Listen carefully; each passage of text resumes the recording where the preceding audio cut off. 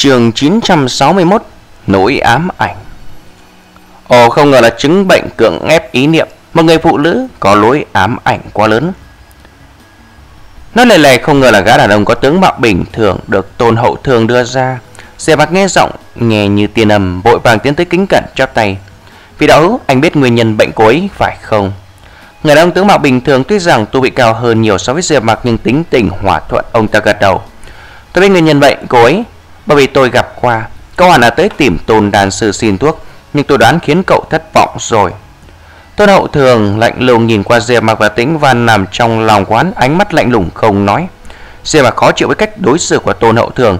Y chỉ là đàn sư luyện đàn mà thôi, Làm cái gì mà ra dáng? Hắn là đàn vương, Tuy nhiên là người đàn ông có tướng mạo bình thường lại nhận ra bệnh tình Tổ tĩnh văn, Diệp Mặc không dám xem thường tôn hậu thường. Hơn nữa hắn cũng biết, Giờ là tới cầu người khác đành phải chắp tay nói. Tôn đàn sư xin hỏi không đợi Diệp Mặc nói hết tôn hậu thưởng khóa tay nói, Không cần xin hỏi, Tôi không có cách nào chữa trị bệnh này. Đến mấy chữ chứng bệnh cưỡng ép ý niệm này tôi là lần đầu tiên nghe. Nói xong y không hề nghe, Không hề để ý Diệp Mặc chập tay với người đàn ông có tướng mạo bình thường. Anh Lê, Tôn mẫu không tiễn. Sau khi nói xong câu này liền xoay người đi vào trong đóng cửa. Người đàn ông được gọi là anh Lê xoay tay với Diệp Mặc Y là người tính tình cổ quái, Nhưng Y vẫn là linh đan sư lục phẩm. Tôi cũng là tìm tới Y luyện đan. Tuy nhiên loại bệnh này tôi phòng chừng Y thực sự không biết. Tôi cũng tình cờ nghe qua một lần Cho dù cậu có tranh cãi với Y cũng không có tác dụng. Diệp Mặc Đàm sẽ có thời gian tranh cãi với Tôn Hậu Thường Hắn ngoại trừ cứu Tô Tĩnh Văn còn là cấp, khẩn cấp, muốn biết ức mặc mấy người đi đâu. Nhưng mà điều này hắn phải hỏi Tĩnh Văn. Nếu người nói Tôn Hậu Thường không có cách chữa trị, Hắn sao có thể đi thỉnh cầu Tôn Hậu Thường Nhưng mà tin tức này Diệp Mặc không bỏ qua lại chắp tay nói tiếp. Vì đạo hữu cho hỏi, anh biết chứng bệnh cưỡng ép ý niệm trị liệu thế nào không? Tù sĩ họ lề lắc đầu. Tôi sở dĩ biết chứng bệnh cưỡng ép ý niệm là bởi 70 năm trước, tôi cùng một vị trưởng bối đi thăm một cái cao nhân tiền bối. Thấy qua bình, cái bệnh tình này, Lúc cái vị cao nhân tiền bối kia nói là, Bệnh này là do lỗi ám ảnh trong lòng quá sâu sắc. Loại ám ảnh này vượt qua sự quyến luyến và sinh tử người bệnh. Nếu như không có biện pháp làm thức tỉnh, nỗi ám ảnh sâu trong nội tâm cuối căn bản không có thuốc chữa trị. Quy tiền bối kia cuối cùng nói thế nào? Diệp mặc vội vàng hỏi. Thấy dáng vẻ Diệp mặc vội như thế, Tu sĩ họ lề thông cảm. Vì tiền bối kia lúc ấy không có cách nào chữa khỏi, Y chỉ nói là đối với loại bệnh này, Người chữa trị cần phải hiểu được nỗi ám ảnh của cô ấy. Sau đó phối hợp với đàn dược đánh thức thần trí cứu mới được. Nhưng hiện tại đàn dược đánh thức thần trí quý báu chỉ sợ. Dường như là không đành lòng nhìn sự thất vọng của Diệp mặc Tu sĩ họ lề nói. Đừng có nói là đàn dược đánh thức thần trí, Ngay cả đàn dược khôi phục tinh thần cũng rất hiếm. Lần trước tôi nghe qua cuộc thi đàn Vương Thành Toái Diệp có một gã đàn sư thông qua dẫn thần thảo tổ hợp chức thần đàn hay cậu tiệm y sang Diệp mặc lòng ngơ ngẩn, người kia chẳng phải hắn sao? Nếu tôi có cách tôi cần dưới câu cạnh linh đàn sư lục phẩm. Thế Diệp mặc sững sờ, tu sĩ họ lề tiếp tục. Lúc ấy vị cao nhân tiền bối kia nói một loại dược liệu gọi là tiếp làn xuân hiểu. Nếu dùng loại dược liệu này nhập đàn có thể đánh thức lỗi ám ảnh tinh thần người bệnh. Nếu đàn sư hạng nhất luyện đàn, danh nhân đường cuộc thi luyện đàn lần trước đồng ý ra tay nói không chứng có thể đem loại đàn dược này tổ hợp thành. Diệp Bạc bỗng sáng tỏ, hắn là người trong cuộc thường mê muội. Hắn chính là một đàn vương chỉ có điều trong lúc nhất thời gấp gáp không nghĩ ra nhiều vấn đề, cũng không hiểu nguyên nhân mà Tô Tĩnh Văn tại sao lại có lỗi ám ảnh tinh thần quá sâu. Tiếp Lan Hiểu Xuân hắn đương nhiên biết đây là một cái loại linh thảo cấp 3 mà thôi. Quả đúng như người này có tác dụng đối với chữa trị bệnh tâm thần. Có lẽ hắn là dùng loại dược liệu này luyện chế đan dược sau đó thử một chút hơn nữa hắn hiện tại biết Tô Tĩnh Văn có lỗi ám ảnh tinh thần quá sâu, rất có thể liên quan đến ám ảnh về hắn. Khó khăn nhất là đi đến nơi đâu kiếm được tiếp Lan Xuân Hiểu Dê Bạc bỗng lo lắng. Tiếp Lan Xuân Hiểu dù là linh dược cấp 3, tuy nhiên lại là cực kỳ hiếm thấy cũng quý báu như linh thảo cấp 5. Hơn nữa Diệp mặc hiểu được ý đối phương bởi vì tiếp Lan Xuân Diệp mặc dù không như dẫn thần thảo khó nhập đàn nhưng cũng là loại dược liệu khó nhập đàn. Hắn là từng đem dẫn thần thảo nhập đàn, Giờ đem tiếp làn Xuân Hiểu nhập đàn cũng không phải là không được. Nghĩ tới Diệp mà có phần thông suốt, Cho dù không thể đem tiếp làn Xuân Hiểu nhập đàn, Hắn còn có phục thần đàn. Đây là đan dược thiền cấp tam phẩm, Là đan dược tốt nhất chữa trị thần trí. Cho dù không thể chữa bệnh cho Tô Tĩnh Văn Cũng có thể làm bệnh tình cô Thuyên giảm Hơn nữa loại đan dược phục thần này Không có chữa linh lực bạo phát. Đối với người chưa từng tu luyện như Tĩnh Văn Không có bất kỳ thường tổn sau khi Diệp Mặc hiểu đạo lý này lập tức lấy một cái viên phục thần đan bỏ vào miệng Tĩnh Văn. Phục thần đan vào miệng tàn chảy, sau đó Tĩnh Văn ăn phục thần đan mắt bỗng khép, hồi lâu sau cô không ngờ ngủ say. Diệp Mặc lòng mừng rỡ, Tĩnh Văn mấy ngày không ngủ, mới là lý do làm hắn lo lắng. Nếu không phải hắn giúp cô tẩy tùy không chừng khó kiên trì, lúc này cô đã ngủ. Nói đúng ra là cứ cho như vậy cũng không tốt cho cô, cũng có thể đủ thời gian cho hắn tìm tiếp Nan Xuân Hiểu. Hoặc dù là không có tiếp Nam Xuân Hiểu dùng phục thần đàn kéo dài thời gian cũng có thể bình phục. Tìm được nguyên nhân bệnh của tĩnh văn có thể chữa trị biện pháp khả thi. Lòng dạ dề mặc sung sướng, hắn biết ơn người tu sĩ trước mặt. Hiện tại tĩnh văn đang ngủ, hắn mới là có lời cảm ơn. Cảm ơn anh Nê, thực sự nghe anh nói một hồi tôi mới hiểu. Tĩnh văn lúc này phản, Tu sĩ họ Lê lúc này phản ứng y sửng sốt nhìn Tĩnh Văn ngủ say. Tôi nghe vị tiền bối kia nói chữa bệnh cưỡng ép ý niệm chắc là không rơi vào ngủ say. Cậu dùng biện pháp gì? Không ngờ mới ăn một viên đan dược rơi vào ngủ say. Tu sĩ họ Lê giúp Diệp Mạc quá nhiều Diệp Mạc không muốn giấu lập tức nói. Vâng, tôi tình cờ có phục hồn, phục thần đan.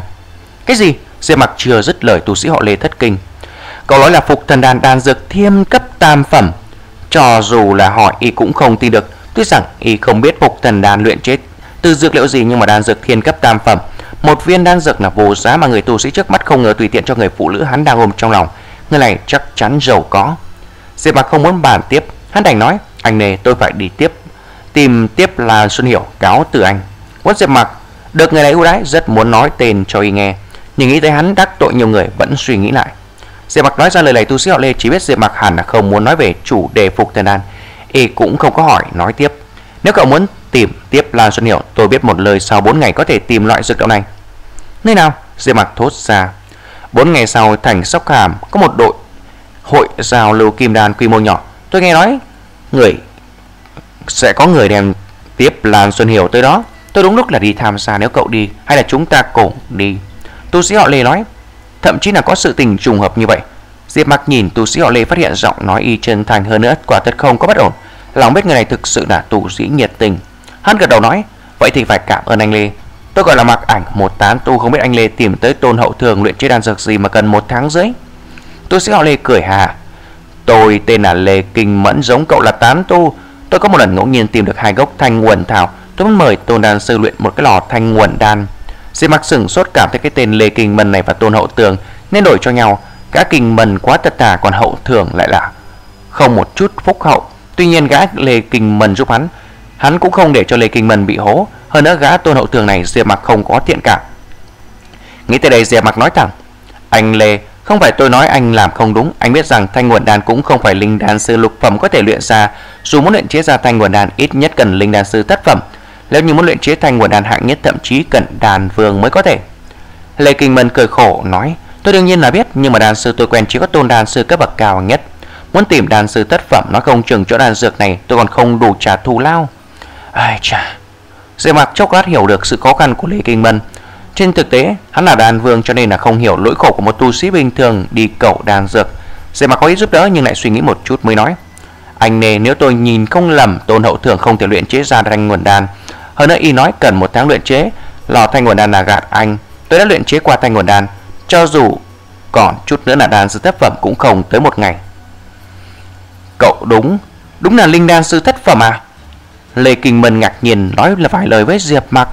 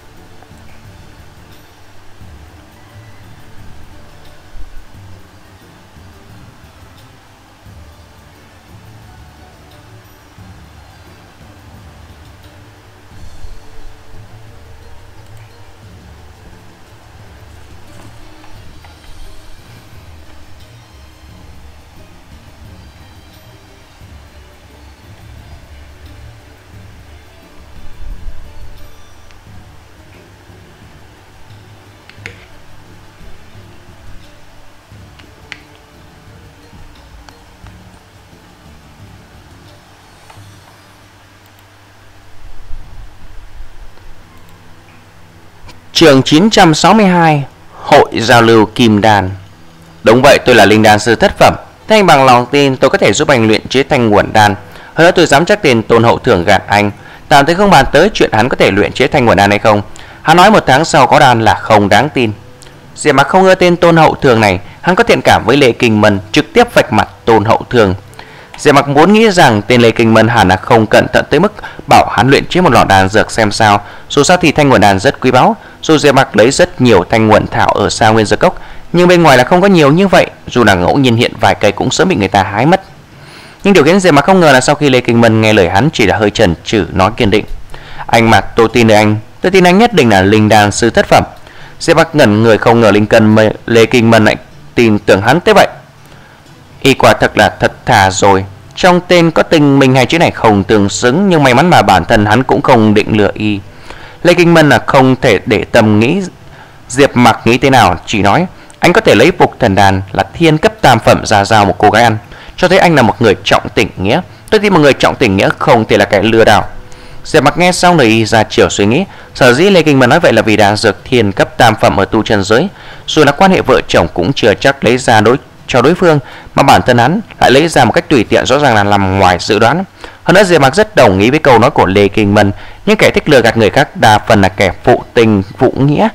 Thường thì người trọng tình trưởng nghĩa thật khó mà lừa gạt người quen hoặc người yếu thế. Hôm nay tâm trạng Tôn Hậu Thưởng không tệ, mới có được hai cây thanh nguồn thảo. Tuy hiện giờ y là chưa thể luyện chế thanh nguồn đan, nhưng chờ tới khi y trở thành linh đan sư tác phẩm thì có thể luyện chế thanh nguồn đan được luyện chế từ hai cái cây thanh nguồn thảo, đủ để chống đỡ cho y tu luyện tới kim đan viên mãn. Về phần Lê Kinh Mân một tháng sau tìm đại cái cớ gì bồi thưởng linh thạch là xong. Chỉ lấy chữa ký xong thì hai lứa đệ tử liền báo với Lê Kinh Mân lại cầu kiến bên ngoài. Tuy ngạc nhiên tại sao Lê Kinh Mân đi khỏi lại muốn gặp y, nhưng hôm nay y mới lấy được hai gốc thanh nguyên thảo của Lê Kinh Mân, không gặp y thì hơi kỳ. Nghĩ tới Tôn Hậu Thường ra khỏi động phủ nghiêm mặt ôm quyền nói với Lê Kinh Mân đứng cửa. Phải chăng anh ấy có chuyện gì bỏ sót? Lê Kinh Mân núng túng nói với Tôn Hậu Thường Tôn Đan Sư Hai cây thanh nguyên thảo của tôi hiện giờ chưa thể giao cho anh Cần 4 ngày sau mới có thể lại tới dùm Tìm anh giúp đỡ. Tôn Hậu Thường giật mình vội hỏi, Tại sao vậy? Phải biết rằng tôi đang nghiên cứu đặc tính thanh nguồn thảo. Nếu một ngày sau mà tới thì thời gian anh lấy được đan dược lại bị trì hoãn. Lê Kinh Mân lại lắc đầu nói, Tôi biết chứ, nhưng mà tôi cũng là bất đắc dĩ. 4 ngày sau đại hội giao lưu kim đan tại thành Sóc Hàm, tôi muốn thử xem dùng thanh nguồn thảo đổi mấy viên thanh nguồn đan hay không. Nếu thực sự không được thì tôi lại tới tìm anh Tôn giúp đỡ, Mong anh Tôn hiểu cho. Tân hậu thường nghe xong lời Lê Kinh Mân ngạc nhiên nhìn y nói, Anh muốn dùng thanh nguồn thảo đổi thanh nguồn đan anh phải biết chuyện này là không thể. Lê Kinh thở dài nói Tôi biết chuyện này rất khó nhưng không thử sao mà biết. Nếu không thử tôi thật khó mà an tâm. Tôi đầu thường nhìn ra mặt bên cạnh Lê Kinh Mân vốn là người dễ nói chuyện. Tại sao trong thời gian ngắn này trở lên giờ quẻ Rõ ràng liên quan tới Diệp Mạc. Tuy rằng Y biết rõ hội giao lưu có người có thanh nguồn an cũng không thể đem ra đổi thanh nguồn thảo, dù là một cây đổi một viên cũng không ai đổi. Nhưng mà thanh nguồn thảo trên người y là người của Lê Kinh Mân, Lê Kinh Mân vừa đưa cho y, giờ lấy ra lại không đưa thì y có muốn tìm cỡ cũng không tìm được.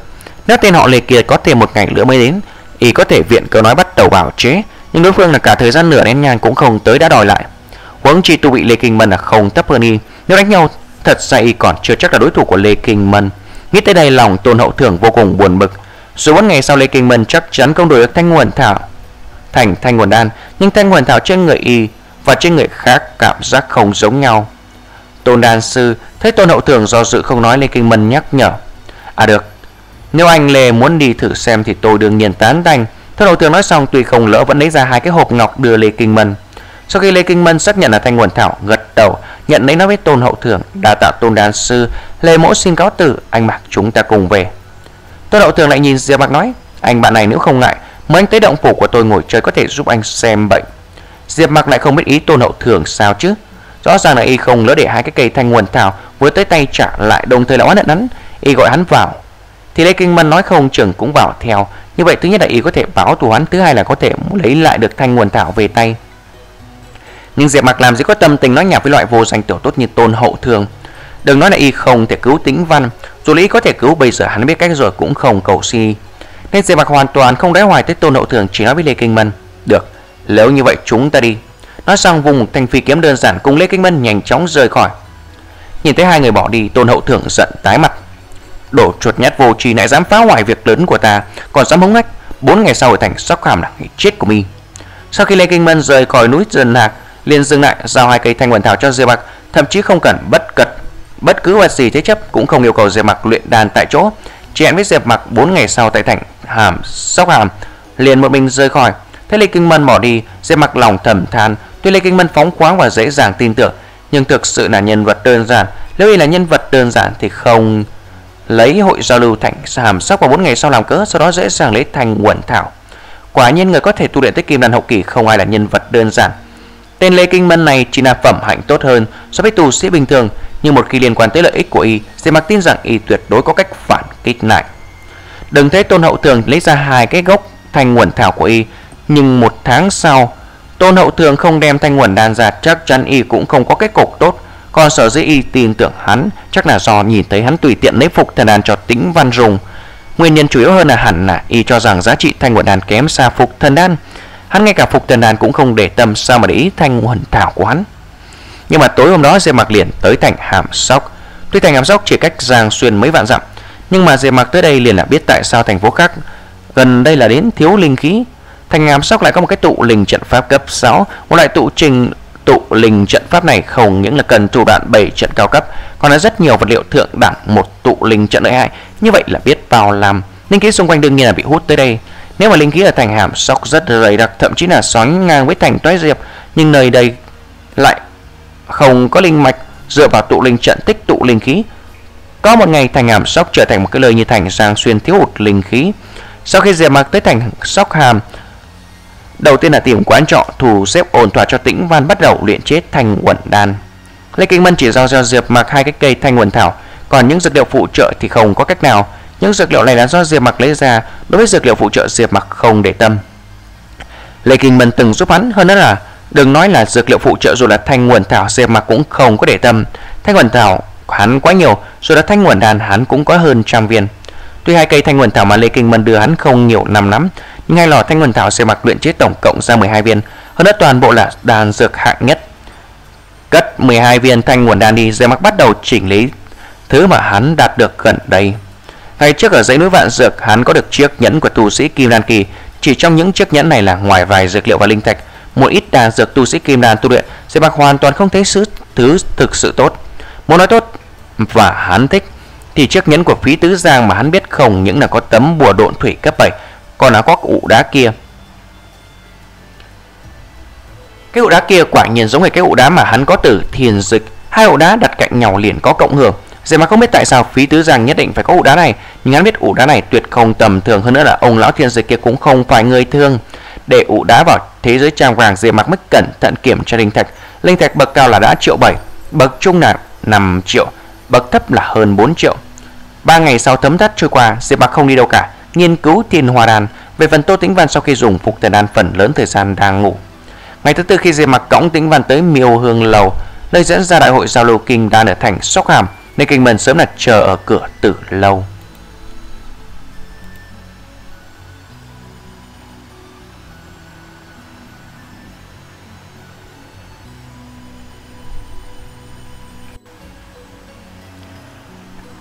Trường 963 Tôi lấy Lê Kinh Mân thấy Diệp Mặc đến liền tỏ vẻ vui mừng, Nhưng mà Diệp Mặc vẫn nhìn thấy trong mắt y thoáng hiện nhẹ nhõm. Rõ ràng tuy là hào phóng đưa hai cây thanh nguồn thảo cho Diệp Mặc, Nhưng lòng vẫn lo lắng. Dù sao y và Diệp Mặc là lần đầu tiên gặp, Diệp Mặc không biết Lê Kinh Mân hay không Vì mình tùy tiện lấy phục thần đàn ra dùng, Mới cược một phen nhưng hắn đoán hẳn có nguyên nhân. Rồi là sau khi gặp mặt, Lê Kinh Mân không hỏi han gì, Diệp Mặc chủ động lấy bình ngọc ra đưa cho y. Đàn giặc đã xong anh xem đi. Lê Kinh Mân nghe xong lời xe Mặc tay run run, y thậm chí không tìm được linh đàn sư thất phẩm, liều một lần được ăn cả ngã về không không ngờ là có một bình thành quận đan. Duy là luyện tích kim đan tầng 7, vẫn có kìm nén kích động. Y cẩn thận đón bình ngọc Diệp Mặc đưa, mở trong rõ ràng là 12 viên thanh nguồn đan. Cái này, Lê Kinh Mân ngẩn người phản ứng vội nói, tôi không cần nhiều vậy đâu, trong này rất nhiều dược liệu phụ trợ của anh, anh chỉ cần đưa tôi 4 năm viên là được. Thật ra dù Lê Kinh Mân biết Diệp Mặc có thể là linh đan sư thất phẩm, lòng vẫn hoài nghi. Có điều y tin rằng Diệp Mặc đáng tin hơn Tôn Hậu Thường, nhưng y chỉ cần hai viên đã hài lòng, không ngờ thoáng cái có 12 viên, điều này khiến y không kích động không được. Diệp Mặc khóa tay, anh Lê bảo tôi giúp anh luyện đan là xem trọng tôi, hơn nữa tôi lỡ ân tình anh Lê. Huống chi anh Lê biết thanh nguồn đan tuy kỹ giá nhưng mà tôi không để tâm. Diệp Mặc biết Lê Kinh Mân có lẽ đoán ra hắn có lộ tình rất sâu nên cũng không cần giả nghèo. Lê Kinh Mân chậm ngầm một lát dường như biết lời Diệp Mặc là thật. Hắn ngay cả đàn dược thiên cấp tam phẩm còn không bận tâm, sao để ý đến mấy cái viên thành nguồn đan. Nghĩ tới đây y cảm kích nói, Nếu đã vậy tôi đành nhận ân tình anh Mặc Nếu như anh Mặc có gì sai khiến Lê Mỗ nhất định dốc hết sức mình Tuyệt đối không nói lửa chữ Ấn tượng Diệp Mặc với Lê Kinh Mân càng lúc càng tốt Lúc lại hắn cố ý nói lời này nhưng lại phát hiện ra Lê Kinh Mân hoàn toàn không có ý cướp giật. Thường thì ở tù trần giới rất nhiều người một khi phát hiện ra Người có tù vị cấp thấp hơn mình có đồ tốt Nghĩ ra mọi cách dứt phê. Nhưng mà Lê Kinh Mân sau khi biết Diệp Mặc Dầu có ngay cả ánh mắt cũng không đổi Có thể thấy người này đúng là người quàng mình lỗi lạc. Ủa không đúng. Đây là đang dược hạng nhất. Lê Kinh Mân dường như nghĩ cái gì Y mở bình ngọc xem bỗng nhìn Diệp Mặc kinh ngạc nói Anh là, là đan. Diệp Mặc đương nhiên biết Lê Kinh Mân muốn nói gì? Y nhìn thanh nguồn đan mà bản thân hắn đưa cho Y là đan dược hạn nhất. Y cũng biết hắn ít nhất là đan vương nhất phẩm. Hắn biết Lê Kinh Mân muốn nói hai chữ đan vương, Nhưng hắn khoát tay ngăn lời Kinh Mân Anh Lê tự biết trong lòng là được, Sau này cần tôi giúp cứ việc nói. Lê Kinh Mân lòng vô cùng kinh ngạc. Y không ngờ rằng người Y tình cờ gặp là một đàn vương, Hơn nữa là đàn vương trẻ tuổi thế vậy. Nếu không phải bản thân Y gặp phải, Mà người khác nói Diệp mặc là đàn vương Y tuyệt không tin. Đàn vương trẻ như vậy sao không đi tham gia hội luyện danh, huyện đàn danh nhân đường? Hơn nữa, hắn có thể phụ luyện chế phục thần đàn, chẳng phải nói hắn ít nhất là một cái đàn vương tam phẩm. Một đàn vương tam phẩm trẻ tuổi vậy sao? Lòng lê kinh mân bỗng hiểu, con người trước mắt hóa ra không phải là mặc ảnh gì, hắn chính là diệp mặc đệ nhất luyện đàn danh nhân đường. Trẻ như vậy là đại đàn vương, không phải hắn còn là ai? Anh là luyện đàn danh nhân. Sau khi lê kinh mân nghĩ nghiền nói diệp mặc sao có thể để kinh mân nói ra vội ngắt lời. Đúng vậy, anh lê chỉ cần biết là được. Xin anh Lê đừng trách tôi che giấu, Tôi bất đắc dĩ. Lê Kinh Mân nghe lời Diệp Mặc liền biết suy đoán của y không sai, Mắt lộ kinh ngạc mừng rỡ. Quen biết một đàn vương với y mà nói quả thực giống như món quà trên trời xuống. Hơn nữa y biết rằng Diệp Mặc muốn che giấu tên họ, Rõ ràng là bị Để tránh kẻ thù, y đương nhiên không vạch trần chuyện này. Trong lúc hai người trò chuyện lại có thêm mấy cái tù sĩ kim đàn kéo tới, Trong đó có một người còn là quen biết Lê Kinh Mân lên tiếng chào hỏi. Vốn dĩ Lê Kinh Mân còn định bất luận thế nào cũng giúp Diệp Mặc có được tiếp Lan Xuân hiểu. Nhưng sau khi biết Diệp Mặc là đệ nhất luyện đan danh nhân đường, liền biết rằng tại sao hắn giàu có như thế. Người của luyện đan danh nhân đường Có ai không giàu có? Trao đổi mỗi một cái liều. Tiếp Lan Xuân Hiểu, sao có thể cần y giúp đỡ? Miêu hương lầu vốn chính là nơi trong hoa các tu sĩ thường lùi tới, Các nữ tu đều là tới, Song tu Nên là phí vào cửa rất đau, Rất cao nhưng mà tu sĩ Kim Đan tới đây hôm nay không phải đến để trăng hoa mà tới tham gia hội giao lưu. Thế nên ngoài các tu sĩ cá biệt thích có nữ tu bầu bạn, đa số các tu sĩ là không cần nữ tu làm bạn. Trên người sẽ mặc cõng một cô gái càng không có nữ tu tiến tới gần. Anh Lê, anh còn là tới sớm hơn tôi. Tiếng của tôn hậu thưởng truyền tới. Lúc này lên Kim Mần có được thanh nguồn đan, nếu không phải tại đi cùng Diệp Mặc, y đã sớm rời khỏi. Lên lời của tôn hậu thưởng chỉ đúng là ứng phó đại một câu. Sắc mặt tôn hậu thưởng không tốt, y lạnh lùng lướt nhìn Diệp Mặc, lòng hạ quyết tâm bất kể người này muốn gì, y là cố gắng mua cho bằng được. Hơn nữa sau vụ này nếu có cơ hội, y không ngại xử lý tên tù sĩ không biết điều. Về phần cô gái xinh đẹp đang được Diệp Mặc cõng trên lưng, nếu có thể hồi phục, là một lữ đệ tử hầu hạ y, nếu không thể giết quách cho xong. Hội giao lưu cử hành trong một cái đại sảnh khá sáng sủa. Khi mà Diệp Mặc và Lê Kinh Mân bước vào, bên trong có bà bốn mươi người. Diệp Mặc đặt tĩnh văn ngồi ở góc, Lê Kinh Mân chọn ngồi ở cách không xa Diệp Mặc. Tôn Hậu Thưởng cố tính ngồi đối cố tình ngồi đối diện Diệp Mặc với Tôn Hậu Thưởng mà nói, nếu muốn đả kích cái tên tù sĩ Kim Đan sơ kỳ trước mắt nhất định phải để hắn thấy một vài người là không thể đắc tội. Lại là một nén nhang trong đại sảnh ngồi tổng cộng 50 tù sĩ Kim Đan. Lúc này, cửa đại sảnh mới đóng, Diệp Mặc phát hiện ngoài những cái lữ tù bừng trả rót nước, trong số các tù sĩ Kim Đan ở đây tu vị hắn là thấp nhất. Bên ngoài hắn ra Tù sĩ người khác thấp nhất là kim đan tầng 4 cũng là trung kỳ Nhưng Diệp Mạc lại không biết Cũng không hề để tâm. Đừng nói là tù vị hắn gần đây gia tăng Còn là tu luyện thành công tự nhãn thần hồn thiết cát Tầng thứ nhất. Dù trước khi hắn vẫn chưa là luyện thành tự nhãn thần hồn thiết cát Cũng không e ngại bất kỳ ai. Bây giờ đã là tu luyện thành công tự nhãn thần hồn thiết cát Ngay cả tu sĩ kim đan viên mãn hắn cũng dám chém chết. Thấy Diệp Mặc chỉ là tu sĩ kim đan tầng 2 cũng dám tới tham gia hội giao lưu kim đan cao cấp thế này. Rất nhiều người cảm thấy ngạc nhiên, nhưng thấy Lê Kình Mần nói chuyện với Diệp Mặc thì đều bình thường lại. Tên tu sĩ cấp thấp kỳ nan tầng 2 rõ ràng tới cùng kinh Mân. Là Lê Kinh Mân che chở hắn, chỉ là bản thân Lê Kinh Mân mới chỉ là tầng 7, có thể bảo vệ hay không còn là chuyện khác. Thấy tất cả tu sĩ tề tụ đồng đủ, một cái kim đàn đại viên mãn đứng lên nói: Lần này đại hội giao lưu trong phạm vi nhỏ của chúng tôi Đa số những người có mặt đều là tán tu. Mục đích hội giao lưu mọi người cũng biết Chính là để chúng ta có được thứ chúng ta cần. Được rồi mọi người Không phải là lần đầu tiên tham gia. Tôi cũng không nói nhiều bây giờ là bắt đầu từ tôi. Nói rằng vị tu sĩ lấy một cái pháp bảo hình thuyền to bằng bàn tay nói Đây là một cái linh khí bay thượng phẩm Giá trị nó không nhiều lời Đặc tính là chiếc phi thuyền này tiêu hao rất ít linh thạch, tốc độ rất nhanh. Hơn nữa một đặc tính rất quan trọng là có chức năng ẩn nấp. Diệp Bạc nhìn linh khí phi thuyền lỏng sôi động. Từ sau khi phi vần trì bị hư, hắn chưa có pháp bảo hay. Pháp bảo bay, pháp bảo bay lấy ra từ chỗ mấy cái kim đan kia đều là cấp thấp, còn có bằng tự đào quán. Nơi này xuất hiện một cái phi thuyền linh khí còn là linh khí thượng phẩm Diệp mà có chút động lòng.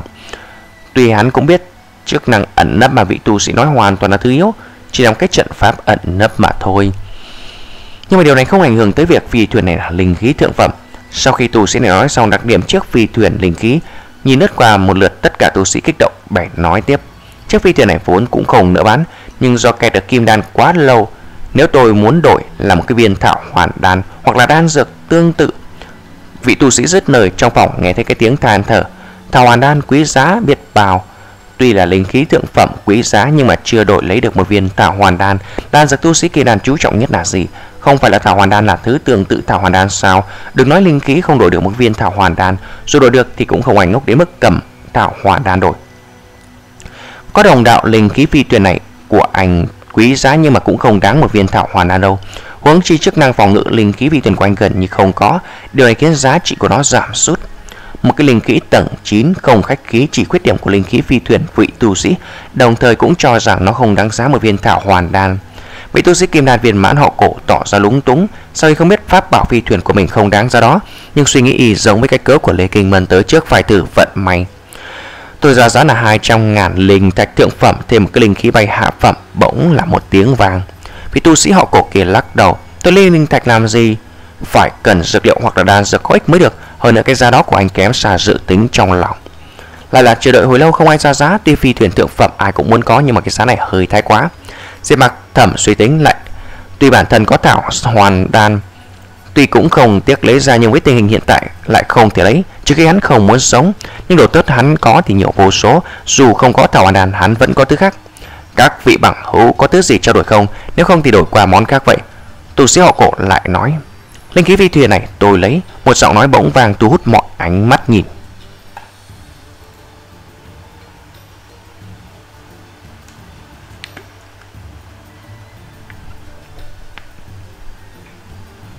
Trường 964 Toàn bộ đỏ mắt. Tất cả mọi người nhìn tu sĩ trảo giá đồ vật đầu tiên là linh khí phi hành thượng phẩm. Cũng thế mà thôi, quan trọng là tu sĩ họ cổ đề xuất là muốn trao đổi thảo hoàn đan thăng cấp người này Loại đan dược này không cần nói một cái tu sĩ kim đan bình thường khó có thể làm ra, Dù là làm ra cũng không ai Đổi lấy một cái linh khí phi hành thượng phẩm. Chính là vậy, Diệp Mặc nói, Hắn ấy nên là mới thu hút chú ý mọi người. Sau khi tu sĩ nói ra, Chỉ nằm cái kim đan tầng 2 lập tức ngây người. Đây quả thực là chuyện cười. Toàn bộ hội trưởng có 50 tu sĩ kim đan, Chỉ có tu sĩ kim đan tầng 2 là thấp nhất. Mà khi linh khí phi hành thượng phẩm này người khác trả không nổi, Thì một tu sĩ cấp thấp lại nói hắn lấy. Anh Mặc Lê Kinh Mân có chút lo lắng nhắc nhở Diệp Mặc Dù đây là hội giao dịch quy mô nhỏ mang tính tư nhân, Nhưng báo giá lung tung cũng là chịu sự phi nhổ mọi người. Chẳng những cấp đoạt quyền lợi giao dịch lần này của người bên dưới, Hơn nữa là phải bồi thường tu sĩ bán đồ đó. Khoản bồi thường này có thể hiểu, Nhiều, có thể ít. Hoàn toàn là dựa vào tâm trạng người khác. Nếu như là vô tình gặp người có tâm trạng không tốt, Yêu cầu anh phải giao nhận chữ vật ra, anh cũng phải giao Ra giá có thể, nhưng mà giá của anh ít nhất là xứng tầm đồ đó. Nếu như cái gọi giá là quá thấp, Vậy là gọi giá lung tung mà tu sĩ kim đan tầng 2 Sao có cái gì xứng đáng với linh khí phi hành thượng phẩm? Nếu không có, Còn nói anh lấy, vậy là quấy rối. Tôi đầu tướng ngay người một lúc tỉnh lại lòng vui sướng, tu sĩ kim đan thứ hai này không hiểu quy tắc hội giao gì Thế đầu mình thích là muốn lấy đấy lát nữa có người khóc rồi. Lúc này lòng gã dùng Là vô cùng sảng khoái, Thậm chí cảm kích Lê Kỳ Mần dẫn Diệp Mạc tới. Tu sĩ họ cố kia đều linh khí phi hành thượng phẩm, Vốn dĩ nghe có người lấy lòng vui mừng. Nhưng khi gã phát hiện người nói lấy là một kim đan tầng 2 lập tức sắc mặt trầm. Tên tu sĩ trẻ như vậy hơn nữa là khuôn mặt xa lạ rõ là, tới đây lần đầu. Vì đạo hữu anh có biết nếu như anh không đưa ra đồ vật tôi nghĩ hậu quả thế nào không? Tu sĩ họ cổ trầm giọng. Diệp mặc mặc dù không biết hậu quả thế nào nhưng hắn cũng không phải đồ ngốc. Hội giao dịch quy mô này quan trọng nhất là danh dự. Nếu nói khoác lác hắn căn bản không tốt đẹp. Mặc dù mọi người nhìn hắn hắn bình tĩnh nói cái tôi đưa ra không phải là tạo hoàn đan. Nói như vậy anh trêu đùa tôi à? Giọng điệu tu sĩ họ cố lập tức lạnh lùng chỉ cần một lời không hợp gã động thủ với Diệp Mặc, nếu không lấy ra được thảo hoàn đan, dựa vào cái gì hắn nói hắn lấy thế này. Anh cố yên tâm đừng nóng vội, anh xem chào giá của hắn một chút đã. Nếu anh không vừa lòng đương nhiên có thể nói. Một nữ tù tướng mạo bình thường bên cạnh mở miệng xào hòa rõ ràng câu nói là giúp Diệp mặc Người phụ nữ này nhìn bộ dáng khoảng 40 tuổi kim đan tầng thứ 9 hậu kỳ. Diệp mặc gật đầu với cô ta tỏ vẻ cảm ơn. À, Liên đại tỷ có phải lâu rồi không thưởng thức hậu sinh trẻ tuổi không? Nhưng người ta là mang theo một cô gái càng trẻ hơn. Một cái tu sĩ kim đan tầng 9 cười ha hạ có chút vô lễ. Sắc mặt liên đại tỷ lạnh lùng. Quan xem mình, lão lương này thích hậu sinh thế nào liên quan đếch gì đến anh Anh chỉ nắm cách que diêm quen Khiến lão lương thượng, lão lương cũng không hứng thú Có thể là lời này nói đến nỗi đau của tù sĩ họ quan kia y hừ lạnh một tiếng chờ mặt khó coi nhưng mà không nói thêm gì nữa Diệp mà không đợi người khác nói chuyện trực tiếp lấy một gốc ngừng thúy đằng Ngừng túy đằng là dược liệu cấp 6 là chiến lợi phẩm sẽ mặc trong sơn cốc sương mù. Ngừng túy đằng có hai tác dụng chính là thứ nhất là nguyên liệu tạo chế ngưng anh đan. Ngưng anh đan có tác dụng nâng cao xác suất tu sĩ kim đan viên mãn thẳng tới nguyên anh, rồi là tỷ lệ thăng cấp không lớn như tạo hoàn đan nhưng cũng thuộc vào đan dược thiên cấp nhất phẩm. Hơn nữa ngừng tuy đằng còn có tác dụng quan trọng nữa, chính là có thể luyện chế nguyên anh đan là đan dược cung cấp cho tất cả tu sĩ nguyên anh kỳ cấp bậc tu luyện. Nhưng mà bình thường rất ít người dùng ngừng tuy đằng luyện chế nguyên anh đan cái này quá lãng phí Ngừng tuy đằng Tu sĩ họ cổ thấy nhìn rõ trong tay Diệp mặc Là ngưng tuy đằng lập tức đứng dậy Thứ này đúng là thứ gã cần Nếu không có tạo hoàn đàn ngừng tuy đằng Đối với gã là lựa chọn tốt nhất Ngừng túy đằng. Lúc này chẳng những tu sĩ học cổ giật mình, Ngay cả tu sĩ kim đàn hậu kỳ mở to mắt Nhìn chăm chăm, ngưng túy đằng trong tay siệp mặc Thế này đối với bọn họ thực tế hơn ninh ký phi hành, Thượng phẩm nhiều. Một góc ngưng túi đằng nếu như tìm được một cái đàn vương luyện chế, ít nhất là chế được hai viên ngưng đan anh. Ngừng ngành đàn đối với tu sĩ kim đàn viên mãn quả thực là sức hấp dẫn chết người. Tu sĩ họ cổ kia cực kỳ muốn có được ngừng túy đằng Trong tay diệp mặc nhưng lại cảm giác một gốc ngừng túy đằng đổi lấy linh khí Phi hành thượng phẩm, gã có chút thiệt dù sao ngưng thúy đằng vẫn cần luyện chế thành đan dược mới được Một khi luyện chế thất bại y đặt công dã tràng Ngưng thúy đằng quả thực là tôi cần Nhưng dù sao chỉ một gốc dược liệu, Nếu như hai gốc ngưng thúy đằng thì thuốc sĩ cổ do sự còn đem màu thuẫn trong lòng mình nói ra. Cổ cựu nhân, Anh nếu không cần gốc ngưng thúy đằng tôi nhắm rồi nhé. Vì bằng hữu này, tôi cũng có một cái linh khí thượng phẩm. Tuy rằng không phải linh khí phi hành, Nhưng cũng là linh khí công kích cực kỳ hiếm thấy. Tu sĩ họ cổ do dự lập tức một tu sĩ kim đan viên mãn đứng ra nói Sự xuất hiện của ngưng thúy đẳng khiến cho y chẳng quan tâm tới quy tắc hay không quy tắc. Cái này dính đến chuyện thằng cấp nguyên anh rất có thể nói là cả đời không thể tìm được gốc ngưng thúy đẳng thứ hai. Kim Thủy, anh còn không tuân theo nghi tắc.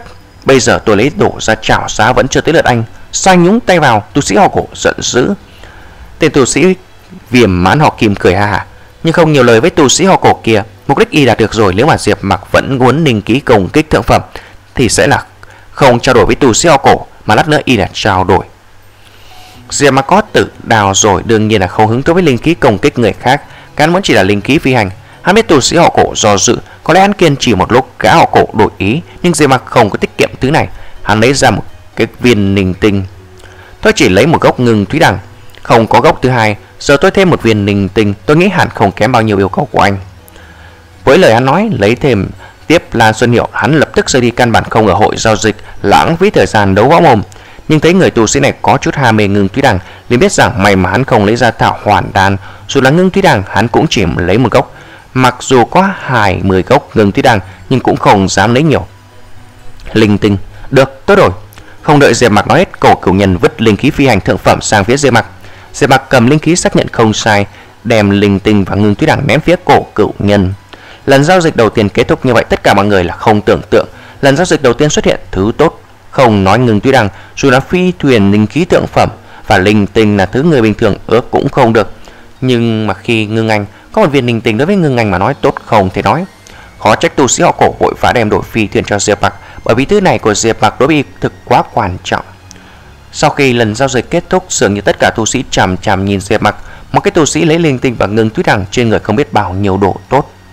Tôn Hậu Tường lòng thầm hối hận, yếu hận vài ngày trước không bắt top Diệp Mặc, nếu vài ngày trước y bắt Diệp Mặc lại, những thứ này không phải là của y sao? Bây giờ cái tên tù sĩ Kim Đan tầng 2 vô cùng ngu xuẩn lấy nhiều đồ tốt như vậy, phòng chừng là mạng hắn bị nhiều người nhắm tới.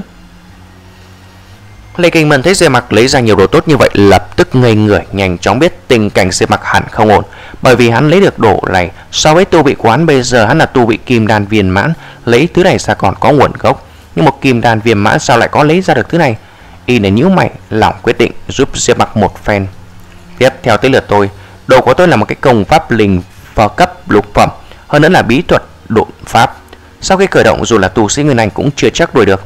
Khuyết điểm duy nhất là tổn hào máu huyết, nhưng lại là đường cứu mạng có một không hai. Cổ cửu nghiện sau khi tỏa mãn ngồi xuống, tu sĩ thứ hai đứng dậy bắt đầu giới thiệu đồ. Về mặt tu sĩ liền hiền lành, nhưng Diệp Mặc biết loại người không thể nhìn mặt mà bắt hình rong, phí tứ giang thoạt nhìn còn là thành thật hơn, nhưng mà anh ta đúng là một cái tên cực kỳ kiêu ngạo. Mọi người nghe thấy là bí thuật huyết đội một cái độn thuật linh cấp lục phẩm có thể nói là quý không kém so với pháp bảo phi hành thượng phẩm vừa rồi. Rất nhiều người không có công pháp chạy trốn liền là có hứng thú với độn thuật.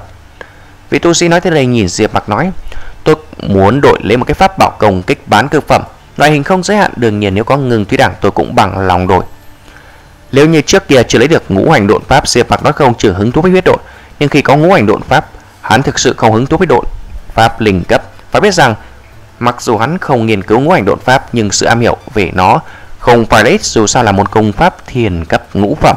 Thế giờ mà không trả lời người tu sĩ này thất vọng đưa mắt nhìn sang những người còn lại. Nếu như đưa ra được đồ tôi thấy động lòng tôi cũng có thể đổi.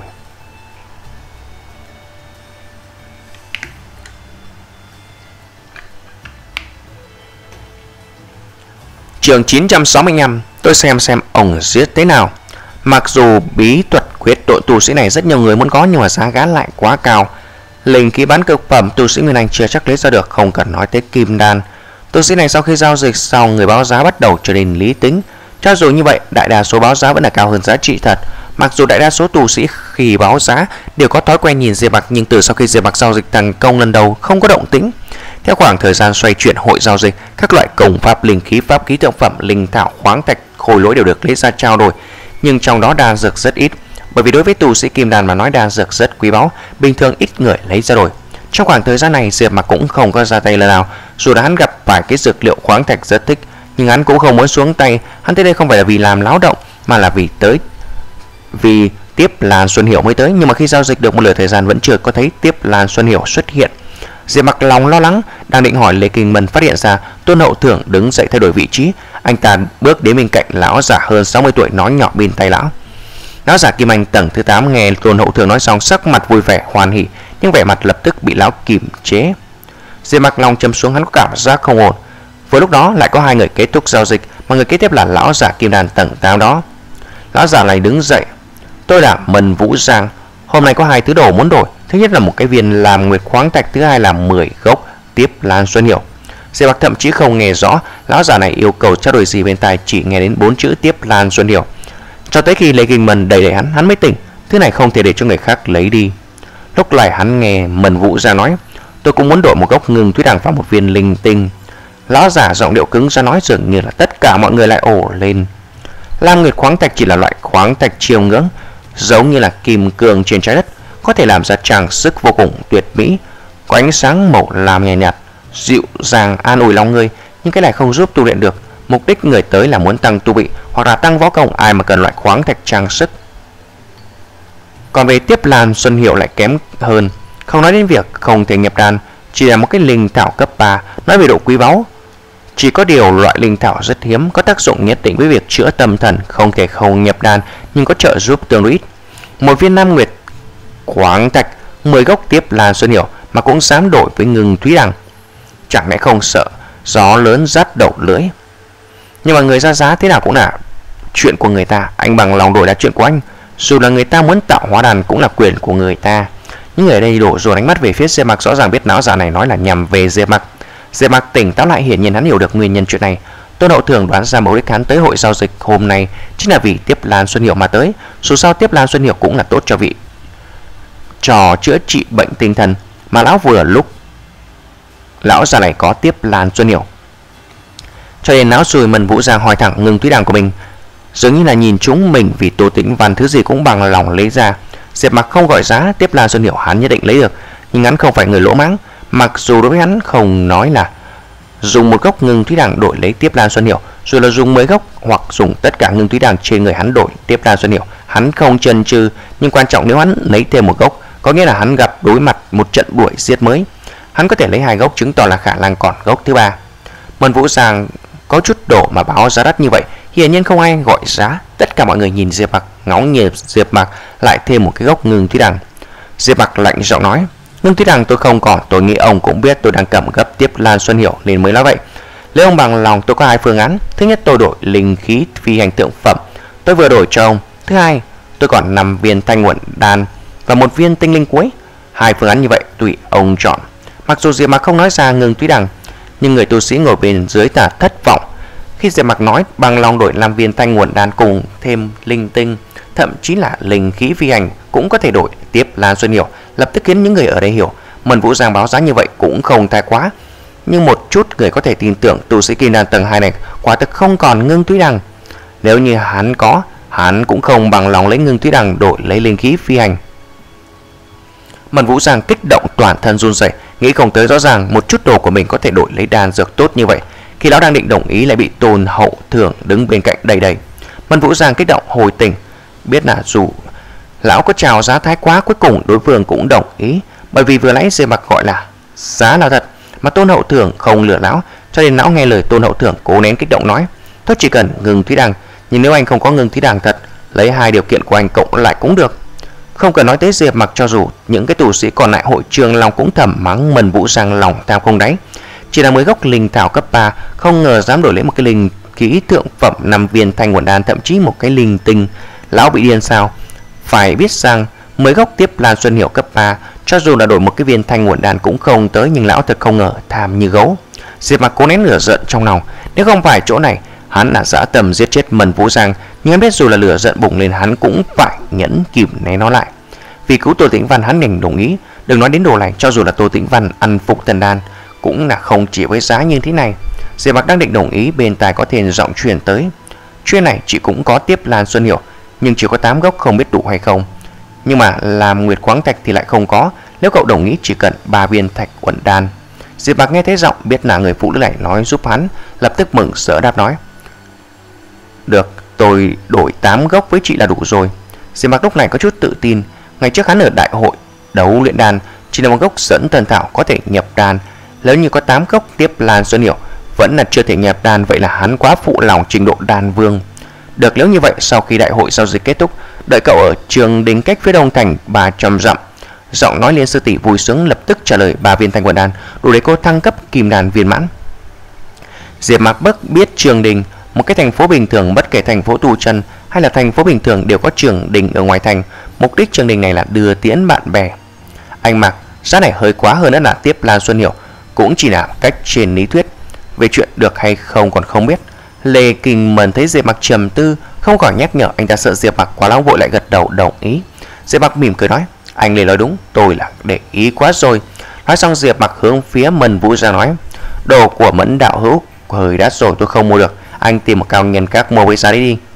Nghe Diệp Mặc nói vậy mọi người hội trưởng thở dài lúc này mới bình thường, lấy một cái viên nam nguyệt khoáng thạch 10 gốc tiếp Lan Xuân Hiểu có thể đổi mới lấy một cái linh khí phi hành thượng phẩm năm viên ngũ ổn đan, lại thêm một viên linh tinh, cái này hơi thái quá. Cho dù những người xung quanh tiềm thức hy vọng là phiên giao dịch không cần giá này lại có thể thành công. Như vậy sao được? Vừa nãy chẳng phải anh nói đồ vật rất quan trọng với anh, sao lại đột nhiên đổi ý? Mần Vũ Giang không chịu nổi tranh lệch như vậy lập tức liều lĩnh nói to. Nó bởi vì thấy Diệp Mặc nói không cần nữa, lúc này vội quyền hoàn toàn lý do không phải là Diệp Mặc nói cho lão nghe, mà là Tôn Hậu Thưởng bên cạnh nói cho lão. Diệp Mặc cười, sao lại không được, chẳng lẽ ông lại không muốn trao đổi? Ông lại là muốn đắt hơn hay sao? Mân Vũ Giang lúc này biết được Diệp Mặc thực sự không muốn trao đổi nữa, lão lập tức căng thẳng. Mọi người xung quanh thấy bộ dáng Mân Vũ Giang là cười thầm, cười con người này đúng là lòng tham vô đáy kết quả bị nghịch mùa từ chối thẳng thân. Cứ theo yêu cầu lúc trước của anh năm viên thanh nguồn đan một linh tinh là được. Mân Vũ Giang bất chấp người khác cười nhạo nhắc nhở Tôn Hậu Thưởng vội nói tiếp. Diệp Mặc nhắm mắt lại căn bản không muốn quan tâm tới Mân Vũ Giang, những người xung quanh từ thần thái quán nhìn rõ rõ ràng tu sĩ kim đan tầng thứ hai này bị lòng tham vô đáy của Mân Vũ Giang làm cho chán, không cần đồ của lão. Mân Vũ Giang lại càng khẩn trương không ngờ là đứng lên hét với Diệp Mặc, chẳng lẽ anh muốn phá hủy quy tắc hội giao dịch chỉ là tu sĩ kim đan tầng hai không ngờ là sau khi gọi giá xong không cần nữa, hay là anh cho rằng tôi không giết được anh? Được lắm, để tôi xem ông giết tôi thế nào. Diệp Mặc đứng dậy cả người sát khí lạnh như băng lập tức thổi quét toàn bộ hội trường. Tất cả một cái tu sĩ kim đan viên mãn cảm thấy lạnh rung minh, âm thầm phỏng đoán, tu sĩ kim đan tầng hai này không ngờ là sát ý dày như vậy. Cái sát ý giết người này chỉ là yêu thú mới có, so sánh sức mạnh vần vũ giang chỉ là cạn bã mà thôi.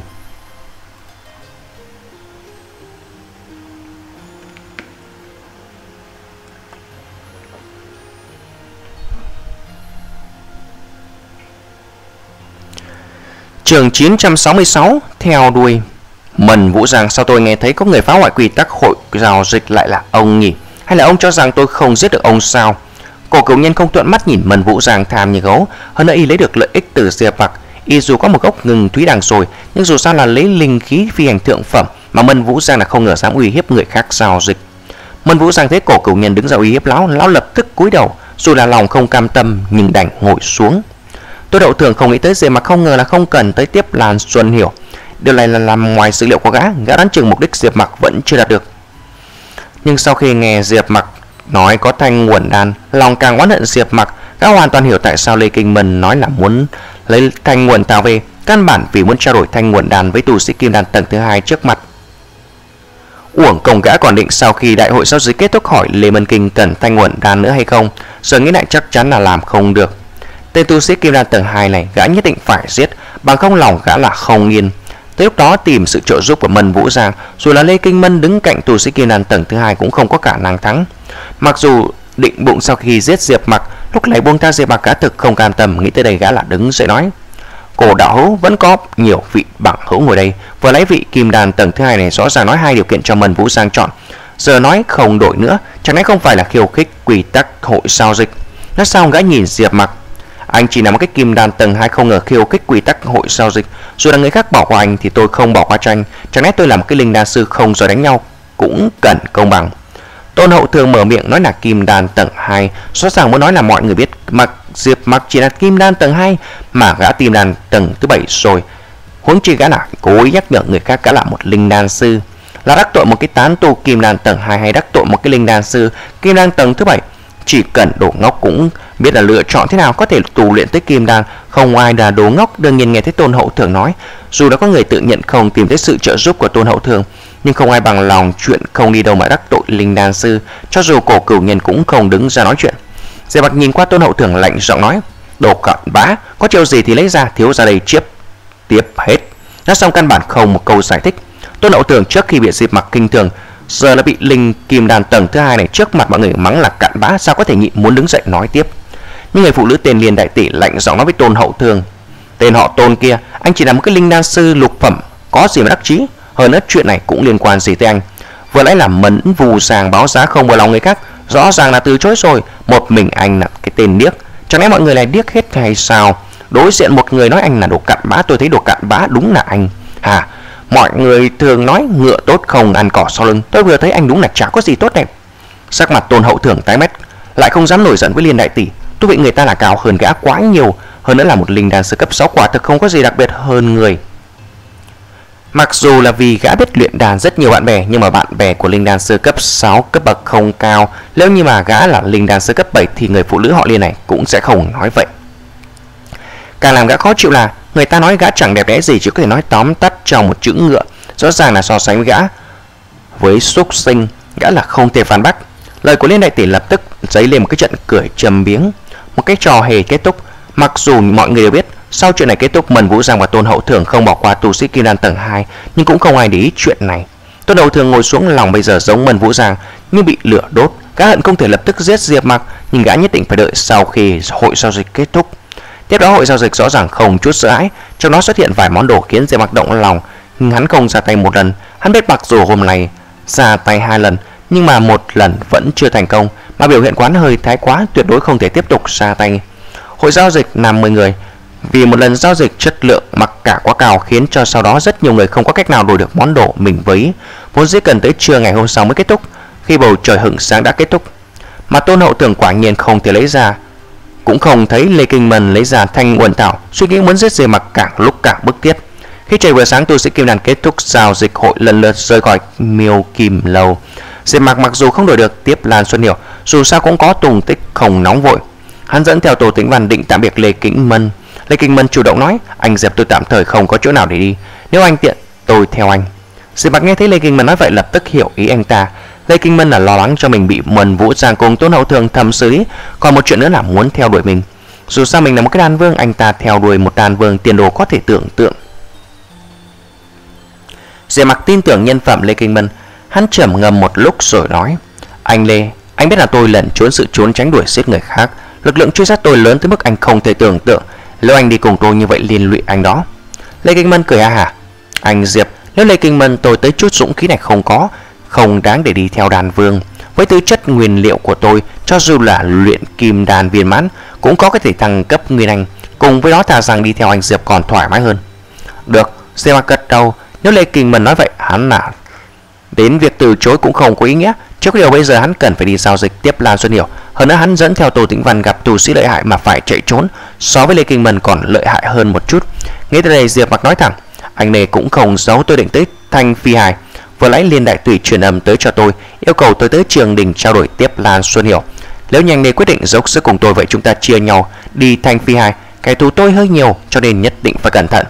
Nghe thấy Diệp Mặc nói vậy, Lê Kinh Mần đáp lại được, nếu vậy tôi tới đi với anh giao dịch tiếp Lan Xuân Hiểu trước á. Tôi nghi ngờ Tôn Hậu Thượng và Mân Vũ Giang không như vậy bỏ qua.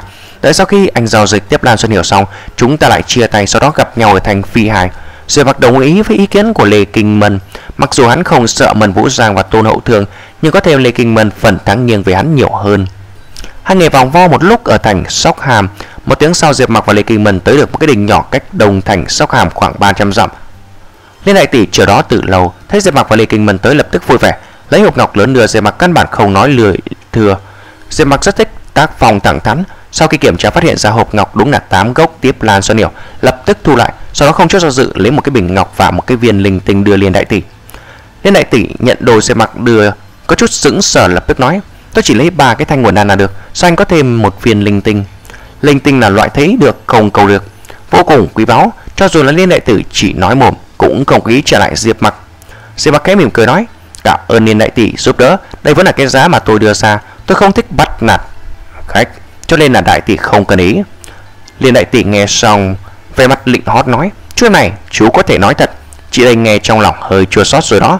Diệp Mặc lập tức biết được Liên đại tỷ phỏng trường không phải là dạng người lang lương thiện, sắc đẹp bình thường, nhìn kỹ có chút lạ lời nhưng cái này cũng chẳng có quan hệ tới hắn.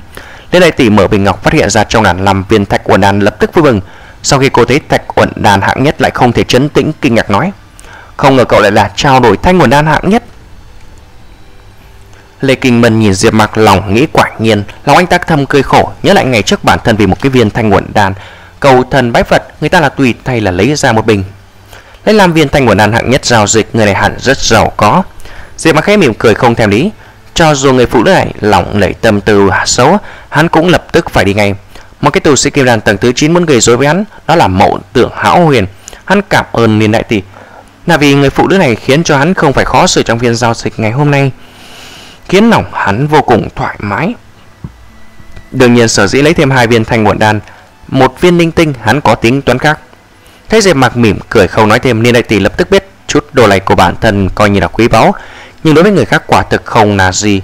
Cô lập tức trở nên có hứng thú với tù sĩ Kiran tầng 2 rìa mặt Cô lại lạ lời nói, xem ra cậu là quá hậu hĩnh cho chị rồi, chị đây cũng phải giúp cậu một phen. rìa mặt đương nhiên hiểu ý của Liên đại tỷ, thần thức hắn hùng mạnh, tới gần thần thức kim đan tầng thứ 9, hơn nữa cảm ứng rất nhanh khi Mân Vũ, Sang và Tôn Hậu Tưởng theo dõi hắn đã biết. Vốn dĩ hắn không có ý định ra tay với Liên đại tỷ, cũng không có ý định lấy thêm hai viên thanh nguồn đan, một viên linh tinh, nhưng mà người thứ ba theo dõi khiến hắn thay đổi quyết định quyết định cho liên đại tỷ chút ưu đãi để cô ta ra tay một lần. Bây giờ xem ra mục đích hắn đạt được rồi.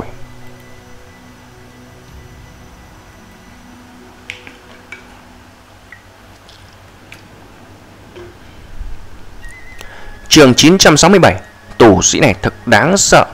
Diệp mặc lòng phỏng đoán cho dù là liên đại tỷ e rằng chỉ phát hiện ra hai người đang theo dõi Mân Vũ Giang và Tôn Hậu Thường đối với người theo dõi thứ ba không phát hiện nếu cô phát hiện ra nó không chừng đã thu dọn đồ đạc chạy trốn căn bản không đồng ý ra tay giúp. Kỳ thực nếu chỉ có hai người Mân Vũ Giang và Tôn Hậu Thường sẽ mặc sao có thể để người khác giúp mình, chính hắn có thể tự làm cho xong. Bởi vì người thứ ba là Kim Thủy, là tên tù sĩ Kim lan viên mãn dám cướp đoạt đồ vật với cổ cửu nhân. Cho đến hắn mới tới, Diệp Mặc lập tức đổi ý định kéo Liên Đại Tỷ xuống nước. Cho đến không đợi Liên Đại Tỷ nói nữa lập tức ôm quyền nói, cảm ơn Liên Đại Tỷ ra tay giúp đỡ mà cảnh vô cùng cảm kích. Chị Điền kinh ngạc nhìn Diệp Mặc một chút, Cậu biết cái tên họ Mẫn và họ Tồn theo dõi cậu. Ý của cô ấy là tên tù sĩ kim đan tầng 2 này biết một cái kim đan tầng 8 và một tầng 7 theo dõi hắn. Hắn mà vẫn bình tĩnh, tới cùng cô tiến hành giao dịch nhưng không có gì xảy ra. Chẳng lẽ hắn biết mình ra tay giúp đỡ? Nghe xong lời liền đại tỷ Diệp mặc lòng thầm âm thầm buồn cười, Lòng tự nhủ tôi chẳng những biết cái tên họ Mẫn, họ Tôn theo dõi, Tôi còn biết một cái kim đan viên mãn cũng theo dõi. Nên đại tỷ cảm thấy kỳ quái một chút cũng không muốn cùng dê mặc trả lời nữa. Cô lập tức liền hướng tới chỗ cách đó chống trải vài thước kêu. Bọn mày xuất hiện đi, đừng có lén nút nữa. Chị đây ghét nhất là gặp các loại người tiểu nghiền lén nút. Hai tên kim đan tầng 7 tầng 8 cũng dám học đi người ta cướp. Đụng tới chị đây coi như chúng mày xui xẻo. Mần Vũ Giang và Tôn Hậu Thưởng sắc mặt khó coi, họ không thể tưởng tượng người phụ nữ họ liền này là nhúng tay việc này, hơn nữa người phụ nữ họ liền là can thiệp việc này thì bọn họ không giành được phần thắng, hoặc nói là bọn họ nhất định sẽ thua. Mà Lê Kinh Mân cũng hổ thẹn, bị người ta theo dõi Diệp Mặc và Liên Đại Tỷ đều biết nhưng y là không biết. Bởi vì người phụ nữ họ liền tham gia nên là hai người họ mẫn tôn đều muốn lui lại đang lúc hai người muốn rút lui, bỗng có thanh âm màng chút quê mùa truyền tới. Nếu có thêm lão già này nữa thì sao? Ngoài trừ Diệp Mặc mấy người lập tức bị thanh âm này hấp dẫn quay sang. Là ông Kim Thủy, ông tới đây làm gì? liền đại tỷ lòng bỗng có cảm giác không tốt, cô tự hồ bị cái tên Kim Đan tầng hai kia lợi dụng. Tuy rằng cô hiện tại có thể không để ý tới mà chạy trốn nhưng mà Liên Ngọc Chi cô ở thành sóc hàm là nhân vật máu mặt bị Kim Thủy dọa một chút liền lùi, thật mất thể diện. Kim Thủy không để ý lời chị Liên mà bình tĩnh. Tôi rất thích ngừng thúy đảng anh bạn trẻ, nhưng hắn không ngờ là không để ý đến tôi, cho nên tôi khó chịu đương nhiên nếu anh bạn trẻ là đồng ý nhận lỗi, đưa nhận chữ vật tôi kiểm tra lập tức rời đi tuyệt không nói hai lời. Liên đại tỷ khó nhìn nhìn Diệp Bắc, bảo người ta đem nhẫn chữ vật cho ông ta kiểm tra cái đó là cùng với việc giết người có gì khác nhau, cho dù là một kim đan viên mãn yêu cầu một kim đan tầng 2 cũng không đúng. Diệp Bắc lòng cười lạnh dường như căn bản không nghe thấy lời Kim Thủy. Lê Kinh Mân biết khó tránh một hồi đại chiến, y trực tiếp lấy phép bảo của mình, đứng ở cạnh Diệp Mặc hiển nhiên biểu lộ, y và Diệp Mặc sống chết có nhau. Liên đại tỷ mặt lộ ngượng ngùng, không phải cô không muốn giết giúp Diệp Mặc, mà quả thực cô đánh không lại Kim Thủy. Kim Thủy tuy rằng là tán tu, tuy nhiên làm có tiếng hung hãn, ngay cả cổ cửu nhân cũng không muốn trêu chọc ông ta. Công pháp tu luyện ông ta giống như là họ ông ta là công pháp hệ kim, một người có 18 loại khoáng thạch luyện chế linh khí trưởng màu tượng phẩm rất lợi hại. Kim Thủy nói xong là xoay người với hai người Mân Vũ Giang và Tôn Hậu Thượng nói: "Các cậu, Đến lúc đó giúp tôi một chút đồ vật trong nhẫn tiền nhóc kia chia làm ba ai cũng có phần. Anh Kim nói gì vậy? Tôi vẫn là có thù oán với anh ta, Nhưng mà giúp anh Kim là căn bản không thành vấn đề. Tôi hậu tường lập tức bỏ, Tỏ ra ý lập trường, y là muốn giết Diệp Mặc Tuy rằng hiện tại không đặt được đồ của Diệp Mặc toàn bộ, Nhưng có một phần cũng tốt. Y nhìn ra trên người tu sĩ Kim Đan tầng 2 này giàu đến độ người thường khó có thể sánh. Diệp Mặc nhìn bộ dáng Niên Đại Tỷ khó xử, bỗng nên tiếng cười. Niên Đại Tỷ, nếu chị có thể giúp tôi ngăn cản tên họ Kim cặn bã lửa lén hương Tôi sẽ rất biết ơn chị. Chuyện sau đó không cần chị động thủ. Như này thì khó xử. Nghe Diệp Mặc nói vậy tinh thần rung lên lập tức nói. Được quyết định vậy. Tuy rằng tôi không phải đối thủ của Kim Thủy Nhưng ngăn ông ta lửa lén hương vẫn là được. Kim Thủy nghe lời Diệp Mặc chính là tù sĩ Kiran tầng 2 cũng dám nói người khác là cặn bã, các lập tức nhận ra sự tức giận tôn hậu thường, do tay là linh khí trưởng màu, màu đỏ nhạt xuất hiện trên tay. Tiếp theo đó màu đỏ nhạt kia là luồng sát khí lợi hại, sắc bén trực tiếp cuốn về Diệp Mặc. Nên đại tỷ rất giữ chữ tín, cô không đợi trưởng thường công kích tới dây mặt trong tay xuất hiện một cái tấm lá chắn linh khí chặn đường của sát khí kim thủy. Kim thủy không trả lời thúc giục chân nguyên, muốn giết nên đại tỷ trong thời gian nhanh nhất. Dây bạc lập tức nói với Lê Kinh Mân, anh Lê, ngàn mần vũ ra lại, tôi chém giết cái tiền cặn bã tôn hậu thường này rồi nói sau. Người dây bạc muốn giết là tôn hậu thường, nếu không phải do gã, hắn khẳng định có thể dùng giá cả hợp lý lấy tiếp là xuân hiệu từ mân vũ sang nếu như là vậy làm sao có việc này. Anh mặc anh chỉ là kim đan tầng 2 Nghe Diệp Bạc nói muốn đối phó Tôn Hậu Thưởng, Lê Kinh Mân lập tức lo lắng ngăn cản hắn. Diệp Bạc chỉ là kim đan tầng 2 còn đang cõng một người muốn chiến đấu cùng Tôn Hậu Thưởng dường như nằm mơ. Nhưng mà Tôn Hậu Thưởng và Mân Vũ Sang đã vọt tới hai người là chạy tới phía Diệp Mặc, hiện nhiên hai người là muốn chém giết Diệp Mặc để giải tỏa cơn giận. Lê Kinh Mân không nói gì thêm chỉ là cản Mân Vũ ra người có tu vị cao hơn một chút, trơ mắt nhìn Tôn Hậu Thưởng tấn công Diệp Mặc. Không cần nói Tôn Hậu Thưởng chỉ là tù sĩ kim đan tầng 7 cực kỳ bình thường, cho dù là kim đan tầng 7 rồi đánh nhau giờ là Diệp Mặc không sợ chút nào. Diệp Bạc vẫy tay, từ đao hiện trong tay, đồng thời chiêu thứ nhất Huyễn Vân Thúc Nguyên đào được hắn bổ ra. Thế Diệp Mặc không ngờ lấy ra linh khí hình dáng như cái dao bếp. Tôn Hậu Thường lòng sừng sốt không phải chứ? Người này có tiền như vậy sao là dùng pháp bảo sắc rưỡi này? Nhưng gã chưa kịp nghĩ nhiều cảm giác trên nguyên cả người bị trói buộc, lòng nghĩ cả kinh, lập tức biết không tốt, người này là giả heo ăn thịt hổ, căn bản không phải kim đan tầng 2. Hắn có thể trói chân nguyên mình hiện như là tu vị chỉ cao hơn không thấp bị lừa rồi. Nghĩ tới đây, tôn hậu thường trên người ứa mồ hôi lạnh, ý tưởng duy nhất là lập tức thoát khỏi sự trói buộc của diệp mặc, sau đó xoay người rời đi. Cho dù là kim thì ở đây, y cũng không muốn nghĩ nhiều. Tên kim đan tầng hai rõ ràng là đáng sợ. Hắn không ngờ là che giấu tu vị, thậm chí cả người này cũng không thấy được, còn là dễ dàng buộc chặt y. Khi mà tôn hậu thường lần đầu tiên thoát khỏi khống chế trói buộc của diệp mặc, lập tức không cần nghĩ nhiều, thiêu đốt một ngụm máu tươi, đồng thời tránh khỏi trần nguyên diệp mặc.